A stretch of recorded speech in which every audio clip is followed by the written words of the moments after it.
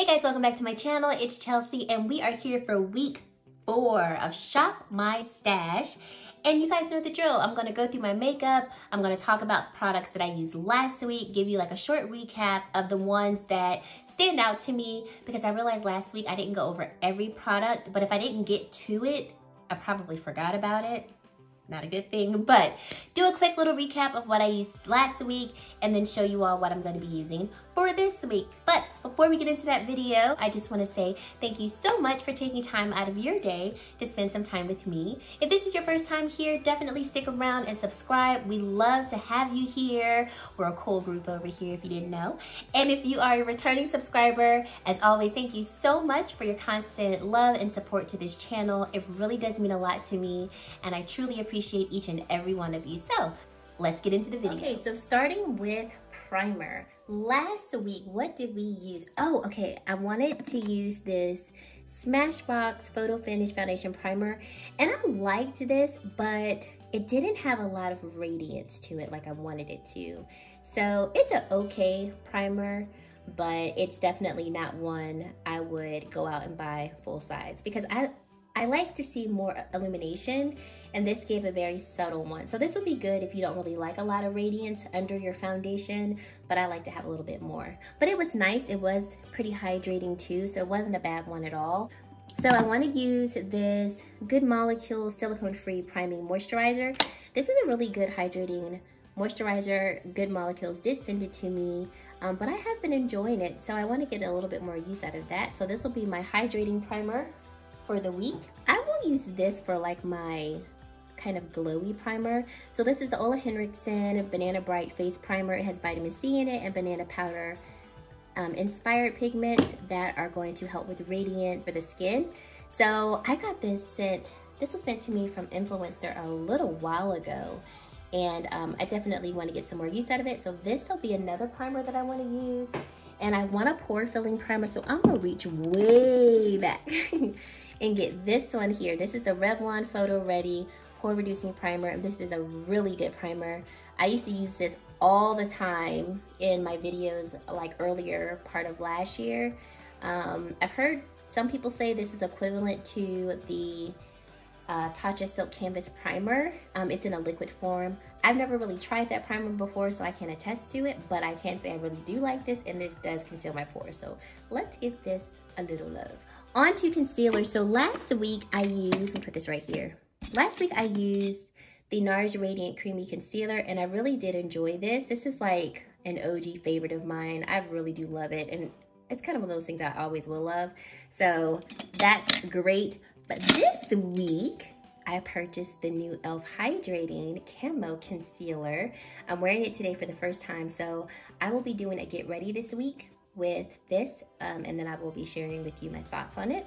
But I do have mine in shade what is this? Tan Neutral. Um, and this is a good shade match for me. So I think that's the only concealer I want to use this week so I can get a good feel for it. Y'all, let me just say, I'm very proud of myself. Every time I do these, I use less and less product. okay, I'm going to be moving on to powder. So I picked up this new e.l.f. Halo Glow Setting Powder in the shade Medium. Haven't even cracked it open as you can see. So I do want to try this because I feel like it could be good. Um, I'm not gonna go too deep into this because I'll use this also in the get ready with me, but I wanna try this. I am doing so good, y'all, on panning my Charlotte Tilbury Airbrush Flawless Finish Powder. Look at that, so excited, but then kind of not excited because I have to buy this again. This powder is gold. Gold, you hear me? Gold. I wear the shade medium, so I definitely wanna pan this and then purchase a new one because it's amazing. I have missed this one, the Jaclyn Hill, what is this? Um, Luminous Powder in Brilliant. I actually have been missing this one, so let's go with this one, just in case the e.l.f. powder is not what it needs to be. On to my favorite category, foundation. So today I'm wearing the Giorgio Armani Luminous Silk Foundation. Okay, I have mine in the shade 8.75 and uh, love it. I've always loved this foundation, but I don't reach for it often because it is more expensive. But I put it on today and I was like, honey child, yes, we need to put you in rotation. So I'm gonna do that one. And then this one, the Hourglass Vanish Stick Foundation. I have mine in the shade Natural Amber. I have not worn this foundation in a hot minute. So, and I think I still have like a good amount left. Oh yeah, I got a good amount left. So let's, let's get her back in the rotation. Haley's. This is a newer foundation to my collection. I did a review last week of this foundation. I was so impressed by it. It held up through all of my tears when I was crying like profusely at the Celine Dion concert. So this foundation is really nice. I have mine in the shade 6.65 neutral. So I'm gonna throw this in the mix just, you know, just to have a third because I like to have foundation options. All right, moving on to, oh, and last week I used the Haley's foundation and I also, I think I used this one last week. I actually have really been enjoying this L'Oreal Age Perfect Radiant Serum Foundation. I have mine in the shade 110. On to face products and blush and highlight and bronzer. So last week, I wanted to use the Mented blushes. I have all four of them. They're really pretty blushes. And I only got to use one last week. So I'm gonna use these again because those are really pretty. They are very pretty and really high pigment um, to them as well. For bronzer, last week I used the Physicians Formula Butter Bronzer in the shade um, Sculpting Bronzer. And you know what, guys? I don't really like this shade on me for some reason. It's a little, it's almost, it's like a hair too deep. This will probably be better in the summer, but it almost looked a little muddy on me last week.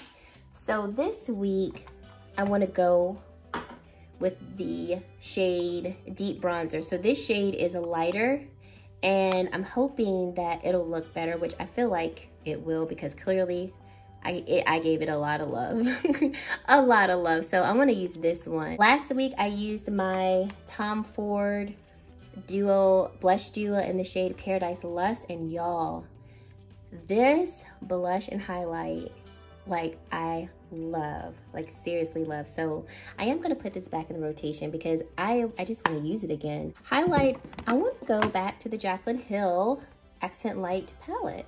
I used it this morning and I was like, I have missed you. Let me not try to blind y'all. But yeah, I actually have this one in the shade a Lash. I had Flare, that was for deeper skin tones, but I didn't like that I could really only wear two shades. So in this palette, I can use all four shades. And even for these lighter ones, like I have on this one today and this, this shade here. So for these lighter two shades, I just mix them with these two shades and that allows me to make all four of them work as a highlight. So I really do like this palette a lot. So we're gonna give her some love this week. For bronzer, I'm gonna go with this NARS. This is a limited edition palette. This is the Orgasm Infatuation palette from 2018. And as you can see, that bronzer in Laguna got a lot of love from me. So I think we should try and pan it. Like we're not gonna pan it in one week, but we can make that bronzer go away a little faster. I really like this bronzer and I was so shocked. I didn't think it would show up on my complexion, but it does. So, um, and then I get another blush and highlight. This um, is their Orgasm Highlight, kind of like a blush topper, but I can wear it as a highlight. So yeah, let's add that to the mix. Last week I was supposed to use the Fenty Diamond Balm. I never got around to it. And there was another highlight I was supposed to use last week and I never got around to it. So sorry about that, guys. I told y'all I didn't really wear a lot of makeup last week. So I really didn't get through even half of the products I was supposed to. And that just wants to stay falling over. For facial sprays, I let's use this. This is the Olay Mist. This is the Ultimate Hydration Essence, and it's in the Energizing scent. And this is a really nice mist. It's, it's a really nice hydrating mist. So I will use this to um, mix my foundations in. You all know, if you've watched any good amount of my Get Ready With Me, you, like, you all know I like to spray my face with like a hydrating mist to mix in my foundation. And then to set my face, let's give good old Lila B a glow face mist some love. I probably should do another one. But this is like, I love her. These two, these two are my favorite setting mists for sure.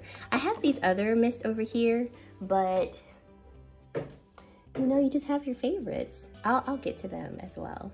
Well, you know, okay, let's throw in this hard candy one. This one is a setting spray. This one just adds a little bit more glow to my face. So I'll just have to shake it up real good. But let's let's give this one some love too. But I'm gonna keep the Lilaby though. because the hard candy one can make me look a little more dewy on certain days. And depending on what look I wanna go for, I may not wanna go for that. So that's it for setting sprays, blush highlight, and bronzers. So let's go over on to eyeshadow palettes. So I know for sure I wanna show some love to this NARS palette. This is the NARS Ignited palette. This is from Holiday 2018. And first of all, this takes me so long to open. And I dropped it a little while ago, so it's broken. So I have to be very gentle with this. But the shadows obviously still work. And these shimmers right here, these shimmer metallic shades are so pretty. And although there's only three matte shades, you can still do a full look, especially with the different types of shimmer shades. So I saw this last week and I was like, oh, I want to show that one some love. I recently picked up the ColourPop Nude Mood Palette and um, I did some swatches on my Instagram page, Glam Girl Chelsea, if you'd like to follow me there. And I did wear this palette once it's actually on my eyes today. If you go back to the intro, this is really pretty. So I'll keep that in the rotation. I was thinking about this palette when I was driving to work. I know, I know you're all like, why are you thinking about makeup when you're driving to work? Because I, I love makeup, I think about it all the time. Let's go with this Natasha Denona Gold palette because you guys know her Love palette is being released tomorrow and you know who's getting it. This girl, I'm getting it. Okay, so I haven't used this palette in a while. I think this would be great to just, you know, get another feel for it. This is a really good palette. Obviously, I've given it a lot of love at some point in time. So yeah, I thought about it. I said, you know what? I should put that in the rotation this week. So that's what I'm gonna do. Thank you, self, for remembering that. okay, last week for eyeshadows, I used the Going Coconuts palette by ColourPop. And y'all, I must say, I really did enjoy using this palette. If you were thinking about getting it, I highly suggest you do. It's a really good everyday neutral palette with some cool tones.